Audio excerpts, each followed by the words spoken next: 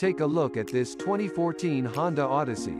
Equipped with an automatic transmission in crystal black pearl.